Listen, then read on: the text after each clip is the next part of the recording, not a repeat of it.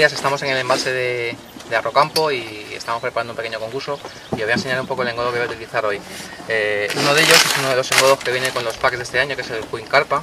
Es un engodo que, a pesar de su aspecto blanquecino, debido a los componentes que tiene, principalmente pan, harina de maíz y demás eh, cereales que son muy válidos para la pesca de la carpa, eh, una vez mojado adquiere un color, como vais a ver, bastante apto para la, la pesca de la carpa, carpa, carpín y los pitinios en general que pescamos en España.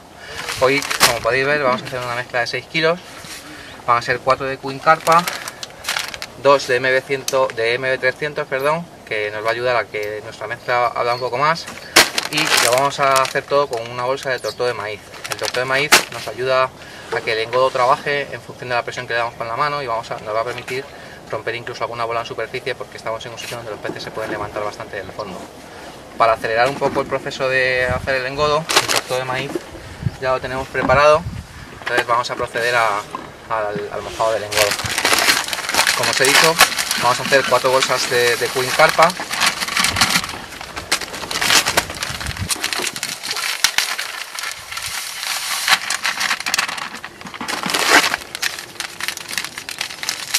Un engodo con un poder de compactación medio alto muy rico en cereales y en harinas para la pesca de la carpa. Y para que la mezcla trabaje un poco antes y nos ayude a trabajar, vamos a meterle un par de bolsas de MB300 que son un godo un poco más fino y con un poder de compactación más bajo.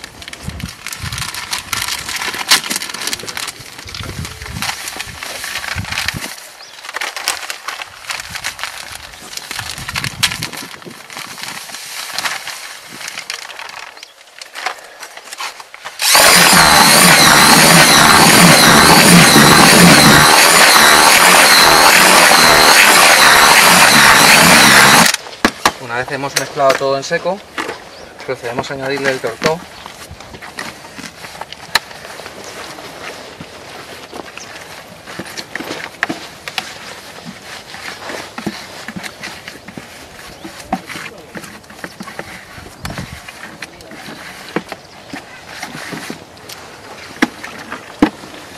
Y ahora procedemos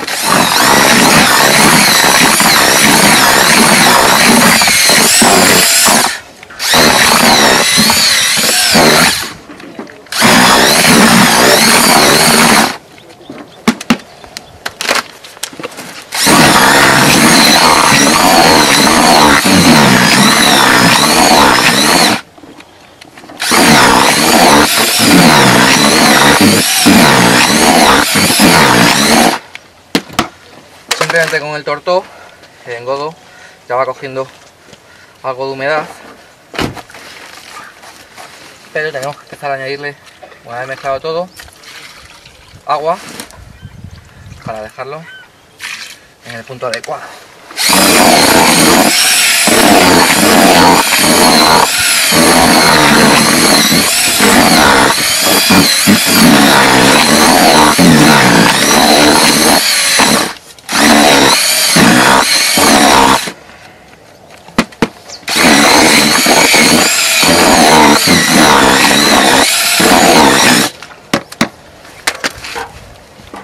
mismo el engodo ya tiene una humedad bastante apta para pescar, pero vamos a dejarlo que seque, que absorba agua y posteriormente procedemos a mojarlo de nuevo.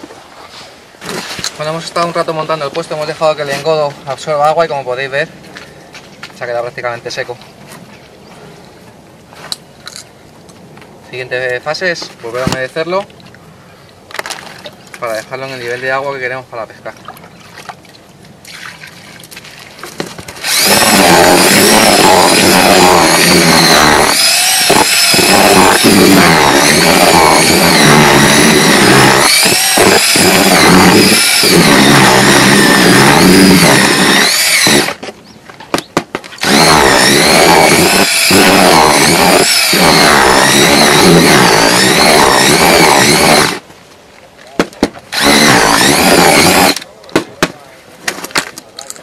Una vez humedecido de nuevo, el engodo ya coge una textura como podéis ver, perfecta para pescar.